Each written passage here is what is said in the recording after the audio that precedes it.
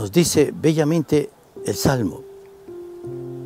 Levanto mis ojos a los montes, ¿de dónde me vendrá el auxilio? El auxilio me viene del Señor que hizo el cielo y la tierra.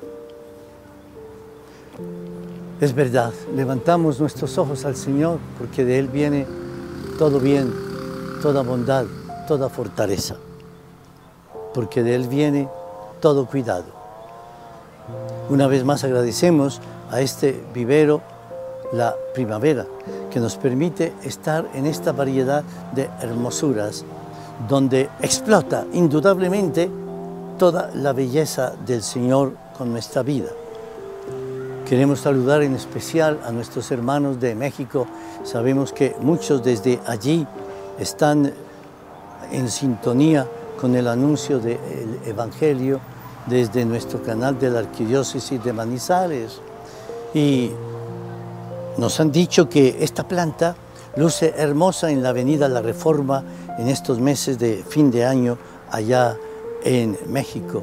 Pues nos unimos de todo corazón y les agradecemos también el testimonio de su fe, el testimonio de ese arraigo en la verdad y en el amor. Del Evangelio de San Lucas capítulo 12, versículos 49 a 53. En aquel tiempo Jesús dijo a sus discípulos, he venido a prender fuego en el mundo y ojalá estuviera ya ardiendo. Tengo que pasar por un bautismo y qué angustia hasta que se cumpla. Piensan que he venido a traer al mundo paz, no, sino división. En adelante, una familia de cinco estará dividida, tres contra dos y dos contra tres estarán divididos el padre contra el hijo, el hijo contra el padre, la madre contra la hija, la hija contra la madre, la suegra contra la nuera y la nuera contra la suegra. Palabra del Señor, gloria a ti, Señor Jesús. Me parece hermosísima esta gran palabra del Señor donde nos dice, yo he venido, he venido a traer la paz. Pero la paz no es simplemente resultante de que todo anda bien, de que todo está muy bien y que todo el entorno me da paz. No.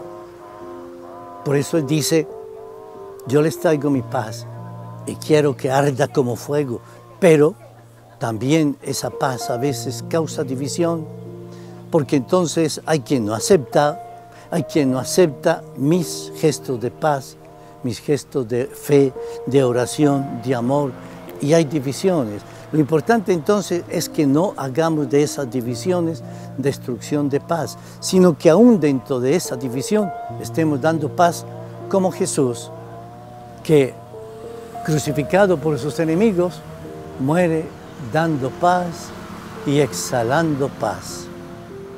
Se cuenta que algún día hubo un concurso en determinada población sobre la paz y entonces presentaron muchos cuadros sobre la paz. Y el jurado eligió como primer puesto un cuadro bien extraño.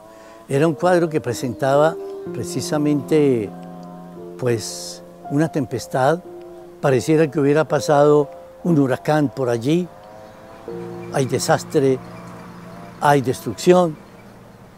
Y sin embargo gana el primer puesto. Entonces le reclamaron, ¿cómo es posible que ante un pasaje tan desolador elijan que eso es la paz? Y el autor dijo, sí, porque observen ustedes, debajo de este puente que hay aquí, un puentecillo que había allí pintado, miren, hay un pequeño nido y en ese nido hay un pajarillo con su pequeño pollino. Los dos están cantando, los dos están trinando al amanecer. Esa es la paz. Aunque alrededor las cosas a veces estén casi destruidas, haya tanta dificultad, ante la suegra esté contra mí, aunque mi esposo esté contra mí, mi esposa, mis hijos, mis vecinos, la misma sociedad está contra mí, yo, como ese pajarillo, sepa dar trinos de cariño, de amor, y sepa como estas flores dar ese fuego del amor divino.